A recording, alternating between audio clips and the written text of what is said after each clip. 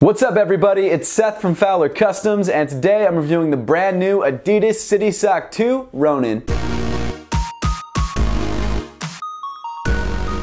Thanks so much for tuning in today guys. Make sure to hit that subscribe button down below if you haven't yet, but with all that being said, let's get into it. So today is another one of those semi-annual Adidas NMD drops where they drop like seven different colorways of the NMD and they usually all sell out pretty much instantaneously. There's a bunch of NMD R2 colorways and XR1 colorways and of course a couple City Sock 2 colorways. Hey baby, what's up? Yo, let me call you back in like 10-15 minutes.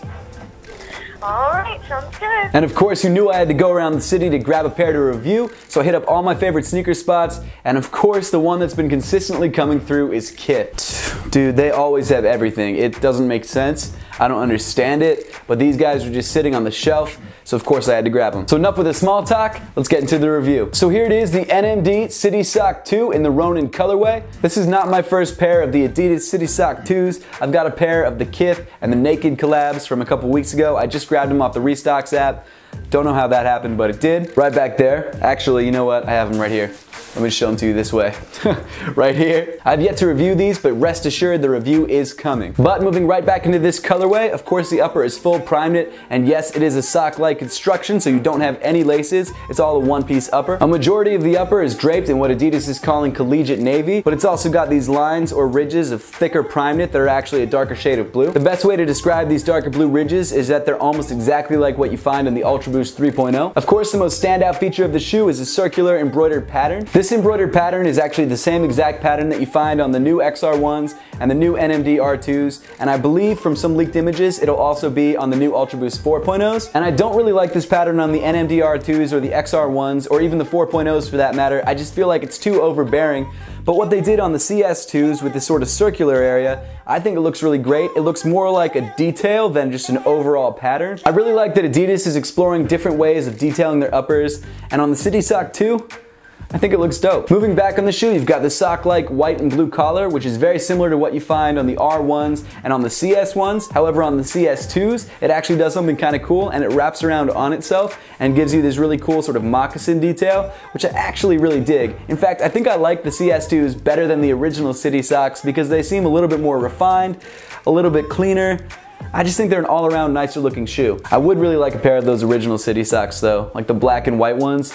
Those are sick, but resale is crazy, so I'm just gonna let them go. On the inside of the shoe, you've got that same insole you've had on just about all the previous NMDs, which honestly isn't really even an insole because it's more of just like a thin piece of material that has a couple punch outs so you can see through to the boost. Doesn't really do anything for you, it's just kind of there so you're not walking on straight boost. One nice touch about this colorway though is that rather than making it that sort of standard insole fabric, they actually gave it sort of a vegeta tan faux leather look, which I actually think looks really nice. It contrasts the blue really nicely, but you're never really gonna see it, so it's just a nice detail, I guess. Because we're talking about the inside of the shoe, we definitely need to talk about fit. One thing about the City Socks, and honestly any of the Prime Knit NMDs, is that you definitely wanna go down half a size, especially in the City Socks, because they don't have laces, so if this doesn't fit you, and it's kind of flopping around on your foot, you have no way of tightening it. And unfortunately, I was only able to get this in a size 9, which usually is my true size, but with the City Sock 2s, and I noticed it specifically on the Kith City Sock too. I went down half a size in this and it fits so much better. This one didn't fit terribly, but like I said, there was just no way to tighten it and it was definitely flopping around whenever I lifted up my foot. So from personal experience, I would definitely suggest going down half a size, if you can. I know the resale market's tough and you might not be able to find every size that you want, but it's worth it. Moving around to the back of the shoe, you've got this really nice pull tab. It's actually made of this pretty thick faux leather. It's the same shade of brown as the insole was, and it contrasts the color of the blue really nicely. And an interesting detail is that rather than printing on the brand with three stripes, which I usually do, they actually laser etched it, so it's a little bit more subtle. Because you've got so much going on in the front of the shoe, it really helps to balance out the whole shoe with a nice subtle hit on the back. Moving down the shoe, it looks like Adidas borrowed the NMD R2 outsole for the new City Sock 2, which means you've got no pods on the lateral side, only a slight deboss of where the back pod used used to be. And then on the medial side, you still do have a back pod, except this time around it's a lot beefier.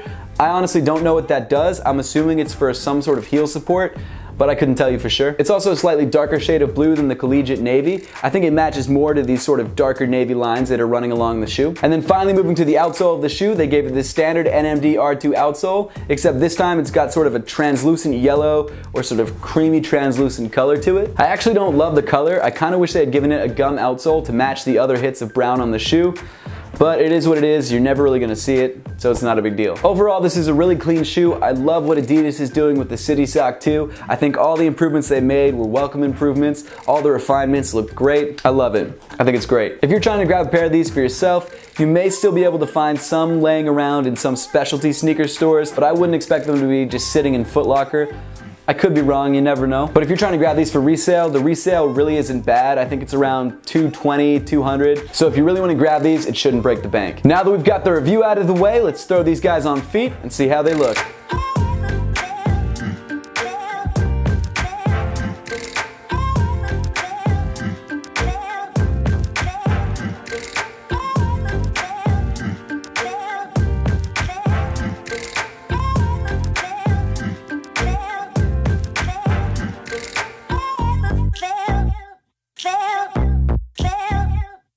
That's pretty much it for the video today, guys. Make sure to leave a comment in the comment section down below letting me know what you think of the Adidas City Sock 2 in the Ronin colorway and whether you're planning to grab one for yourself. If you're interested in what camera equipment I use or what lighting I use for all my videos, I made sure to put all those links in the description below. And as always, guys, thank you so much for watching. Please make sure to give this video a thumbs up if you liked it. Subscribe to Fowler Customs if you want to see more content just like this, and follow Fowler Customs on Snupps, Instagram, and on Twitter.